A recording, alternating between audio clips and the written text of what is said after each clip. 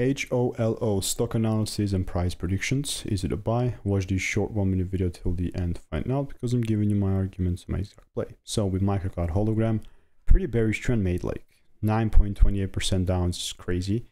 just honestly looking at it, it just even crazy. Like if I zoom out, you're clearly gonna see that previously I cut out this beautiful, beautiful short side prediction here. And here's the proof of that. Boom that I'm willing to take it. Two weeks ago, 26th of August.